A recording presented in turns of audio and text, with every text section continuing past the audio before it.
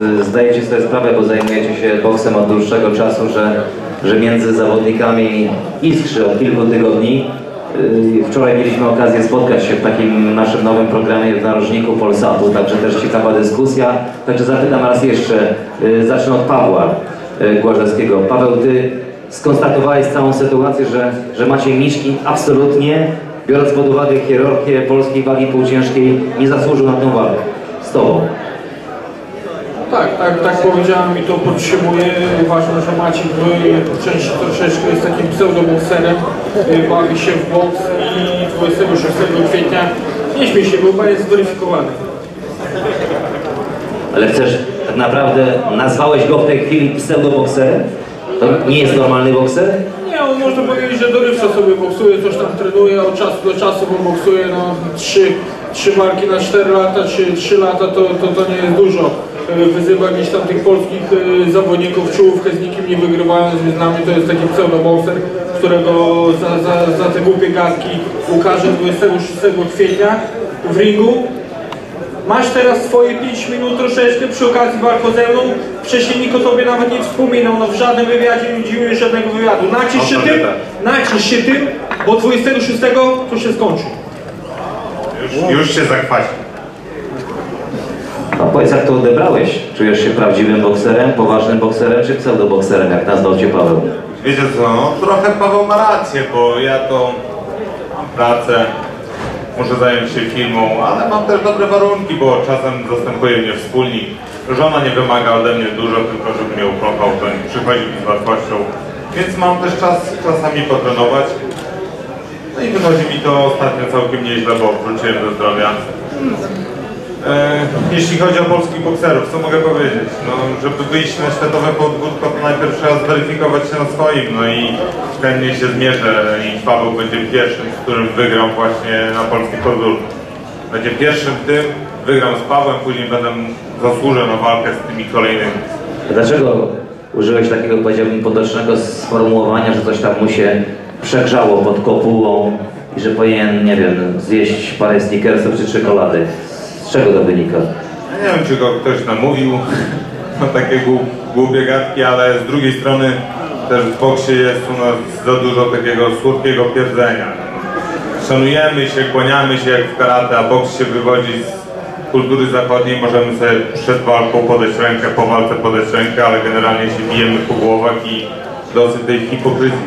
nie? Jak odniesiesz się do tych słów, że tutaj Paweł, no, on jednak w takich twardych żołnierskich słowach yy, widzi Twoją przyszłość i, i, i deklaruje, że Cię skrzywdzi, że zrobi Ci krzywdę w sobotę.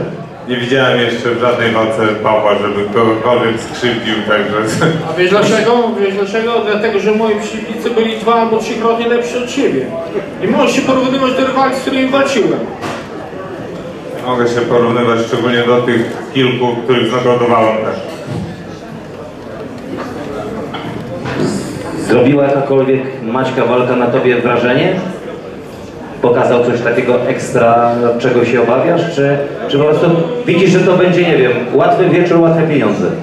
Chodzi o to, że nie walczył z nikim, męczył się z zawodnikami bardzo słabymi i gdzieś tam, gdzieś tam w walkach przecież on sprowokował tę walkę tak naprawdę. Nasza walka, naszą walkę to on sprowokował. Ja uważałem, że na nią nie zasłużył. Po walce przegranej z tym Niemcem Fajbemurcem, gdzieś tam wyszedł z ringu, zszedł, yy, zaczął mówić, że teraz przyszedł czas na mnie, po nokaucie jaki dostał, myślałem, że może mu coś się poprzestawiało delikatnie w tej główce, yy, odczuł te ciosy i że nie mówi na serio. Później ponownie zaczął mi wyzywać do walki, więc jest walka. Paweł, a w tej chwili jakby potrafisz patrzeć na Maćka na to wyzwanie czysto w kategoriach sportowych, czy to już zaszło za daleko? Czy to już zrobiło się w tej chwili absolutnie taką sprawą honoru właśnie, sprawą osobistą? Nie, To jest, to, jest, to jest sprawa, którą trzeba załatwić, załatwimy tę sprawę w ringu. Yy, czekamy z niecierpliwością soboty i, i tam, tam wszystko, wszystko będzie czarno na białym.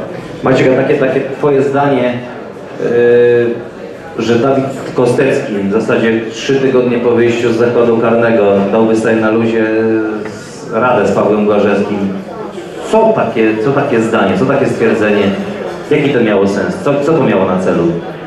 Jak miał sens, no Paweł wypowiadał się, że jest pięściarzem najlepszym w Polsce w kategorii półciężkiej. widziałem sparingi Davida z Pawłem. Oczywiście sparingi to nie wszystko, bo się mówi, że walka to walka, no ale jak się dostaje takie bomby na sparingu i trzeba przerywać sparing, bo ktoś drugiego bije, no to chyba nie robił tego celowo. A jak wy sparowaliście, to kto dostał więcej tych bomb? Ty czy Paweł? Sparingi podobno były wyrównane, no ciężko oceniać swoje sparingi, zawsze, zawsze człowiek jest dobrze nastawiony i, i widzi to lepiej niż było w rzeczywistości, natomiast trener mówił, że były wyrównane. Amerykanie mają takie stwierdzenie don't blink, także tutaj mi się wydaje, że, że absolutnie nie można zaspać w tej walce ani na, ani na sekundę, ani na moment. Ty w ogóle dopuszczasz taki scenariusz, że, że ta walka potrwa na pełnym dystansie? Każdy scenariusz jest możliwy, nie nastawiam się e, na żadną opcję, wychodzę, robię swoje. Naprawdę jestem skoncentrowany, jestem dobrze przygotowany, także nie wyobrażam tu sobie się co i jak. A, a ty Paweł jeszcze wczoraj powiedziałeś coś takiego, że, że Miszkin to może do trzeciej rundy, a potem to absolutnie jest spuchnięty i, i nie ma szans, żeby dotrwał do końca. No ja uważam, że jeżeli myślę o jakichś poważniejszych walkach, to powinienem tą walkę wygrać przed czasem. A z takimi zawodnikami nie wypada się męczyć, to będę się starał udowodnić w ringu i pokazać mu, y, gdzie jest jego miejsce w polskim boksie, czyli y, tak jak w rankingu boksach na siódmym miejscu. Jeśli mogę dodać, to no, Oliver McCall, któremu pozwalam sobie tłumaczyć między Wami, stwierdził, że jest tak zainteresowany tą walką, że poprosił telewizję Polsat o wstawienie monitora, w tym czasie będzie się przygotowywał do walki z Marcinem, koniecznie muszę to zobaczyć. Ja myślę, że on jest tak doświadczony, że nawet jest w stanie oglądać walkę podczas rozgrzewki, bo, bo to jest Oliver McCall.